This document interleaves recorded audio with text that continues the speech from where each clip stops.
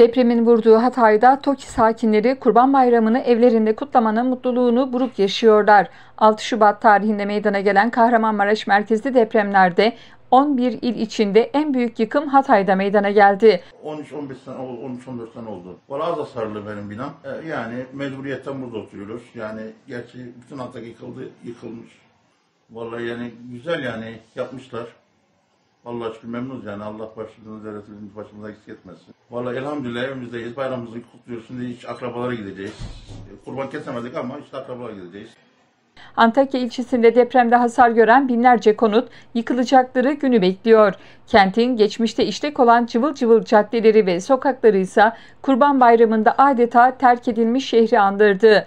Toplu Konut İdaresi tarafından 14 yıl önce Akasya Mahallesi'ne inşa edilen konutlar ise depremde hasar görmedi ve ilk günkü gibi ayakta duruyor. Antakya'da TOKİ sakinleri bayramı buruk da olsa evlerinde kutluyorlar. Bayram ziyaretlerinin devam ettiği TOKİ'de vatandaşlar için hayat zor da olsa normalleşmeye başladı. Yok e, he- herhangi bir de zarar görmedi binamız yani. Bir zarar almadık. Ama çok tehlikeli bir geceydi o gece. Çok şükür yine bugünümüze yine çok şükür kardeş yani. Yapacak bir şey yok. Hanımı, çocukları bayram ziyaretinde. Bayramlar işte biliyorsun zor geçiyor bayramlarımız. Bayram güzel geçiyor. Bayram güzel geçiyor ama var. Benim geçiyor. kızım öldü, torunum öldü depremde. Aileden 16-17 kişi adam gitti yani bizim aileden. Tabii büyük ağır bir e, Yok yıkılmadı Allah'a şükür.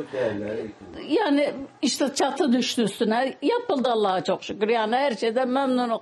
İyi nasıl olucu bir oğlum işte eşimiz dostumuz.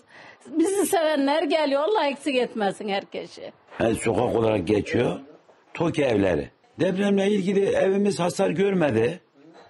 Çok şükür yani e, bugünümüze.